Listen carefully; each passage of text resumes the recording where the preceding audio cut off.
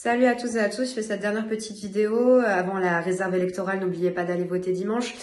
Euh, pour répondre aux questions euh, des habitants des habitants de la Circo, euh, on en a rencontré plus de 10 000 en 10 jours, sur la faisabilité économique du programme du nouveau Front Populaire, notamment pour les TPE-PME, parce qu'évidemment, tous les habitants qu'on rencontre nous disent qu'ils aimeraient que leur salaire augmente, c'est ce qu'on propose, qu'ils aimeraient que leur petite retraite augmente, c'est ce qu'on propose, mais disent oui, mais comment vont faire notamment les petites entreprises pour suivre le rythme?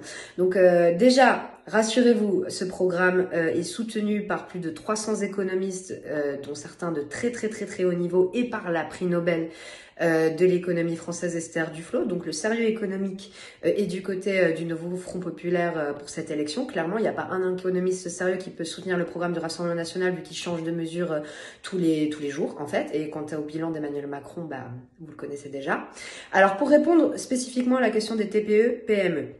Donc premièrement, sachez que sous Emmanuel Macron, les TPE-PME n'ont jamais connu une crise aussi sévère. Il y a plus de 57 000 procédures de redressement de liquidation judiciaire qui sont ouvertes cette année, 36% euh, de plus que l'année dernière, donc c'est euh, absolument colossal. Euh, et ça s'explique par plusieurs facteurs. Donc la crise de l'énergie qui n'a épargné absolument personne, euh, et notamment euh, les PME industrielles ou les TPE type boulangerie, grosses consommatrices d'électricité. Donc ce qu'il faut savoir, c'est que aujourd'hui la crise des prix de l'énergie, surtout de l'électricité, mais aussi celui du gaz, menace plus de 100 000 emplois dans l'industrie en France, qu'il y a beaucoup beaucoup de boulangeries qui ont fait faillite.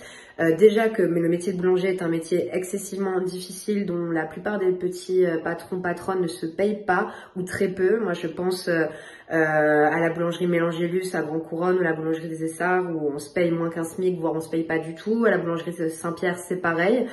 Euh, donc c'était déjà très difficile avant, mais les factures viennent engloutir en fait euh, toutes les marges. Quand on parle euh, l'année dernière, la, boulangerie de la gare de Saint-Aubin-les-Elbeuf, c'était 16 000 euros de facture. Vous imaginez Nous, donc l'Union de la gauche et, moi, je me suis battue pendant deux ans pour revenir au blocage des prix de l'électricité pour les TPE et les PME. Le Rassemblement national avait piscine quand on a voté le projet de loi, la première proposition de loi pour revenir au tarif bloqué de l'électricité. Finalement, c'est les Macron qui ont eu raison de ce texte et nous euh, avons aujourd'hui euh, un système où vous payez, où les entreprises euh, continuent de payer l'électricité trois fois, voire quatre fois, voire plus son coût de production.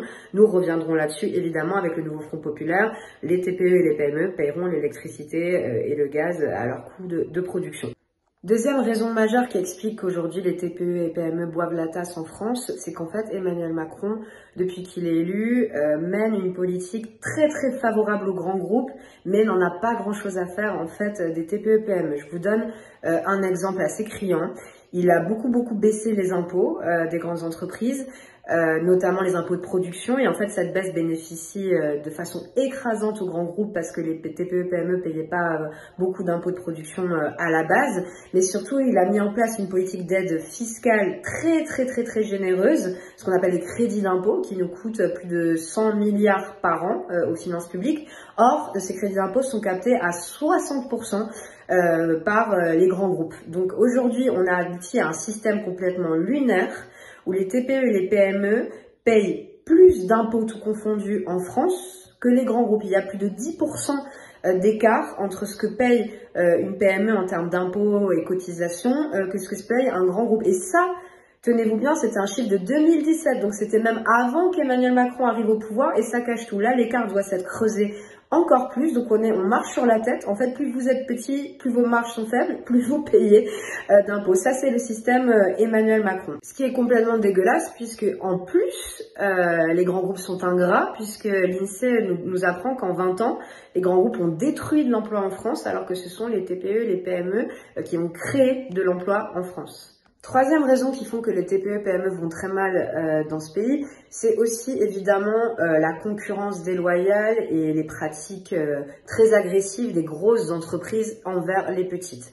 Je vous donnerai deux exemples. Par exemple, dans l'industrie, souvent les PME sont en milieu de chaîne, c'est-à-dire elles sont sous-traitantes de donneurs d'ordre qui vont vendre les produits euh, finis aux consommateurs et elles se trouvent aussi piégées euh, par, en amont en fait par les multinationales des matières premières. Donc par exemple dans l'automobile c'est très très clair, en milieu de chaîne il y a donc des PME industrielles qui se font des 2%, des 3% de marge, c'est-à-dire c'est absolument ridicule, pendant que des constructeurs automobiles comme Stellantis euh, se font euh, plus de 15% de marge et sont là sur le podium du CAC 40, des entreprises du CAC 40. Donc voilà, ça c'est un exemple illustratif en fait du fait que les PME industrielles sont étouffées euh, par des acteurs plus gros qu'eux qui leur dictent leurs conditions économiques et que ça, le gouvernement de droite et le RN ne proposent absolument rien sur cette question-là qui est pourtant majeure.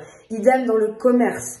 Euh, ceux qui me suivent un peu savent que j'ai beaucoup travaillé sur la question d'Amazon, par exemple.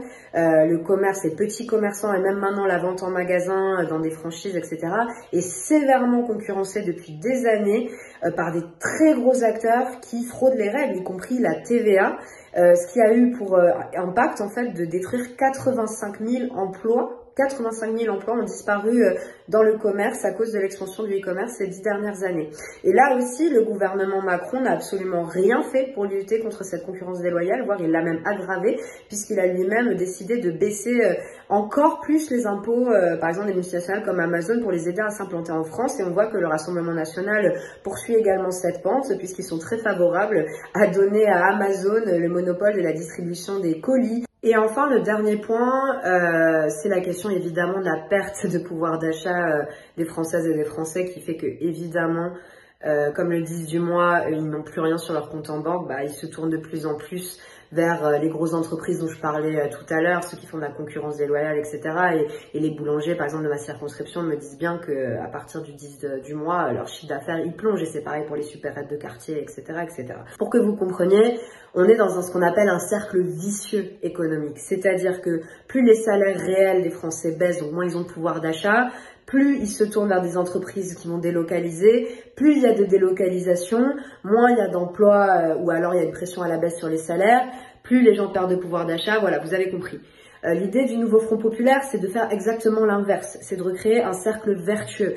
En donnant du pouvoir d'achat aux gens, en luttant contre le dumping des grosses entreprises que je mentionnais, les pratiques déloyales, euh, ou agressive, euh, on espère on espère en fait diriger la consommation populaire vers justement les entreprises locales, c'est d'une première part. On n'est pas non plus complètement fou, euh, c'est-à-dire qu'on sait qu'aujourd'hui elles sont écrasées par certains coûts, donc on va, on l'a dit, bloquer les factures d'électricité, mais on va aussi baisser leur cotisation patronale par rapport à celle des grands groupes pour qu'elles puissent augmenter les salaires sans être complètement étranglées. Et enfin, comme elles ont besoin d'investir, comme on comme on est en face à la transition écologique, à plein de défis, la transition technologique, on mettra en place un système de prêt à taux zéro euh, pour les aider euh, à s'adapter. Voilà, donc notre programme, le Nouveau Front Populaire, est parfaitement euh, non seulement compatible avec les TPE-PME, mais en plus, en fait, permettrait de les sauver parce que, comme je l'ai dit, elles traversent une crise sans précédent.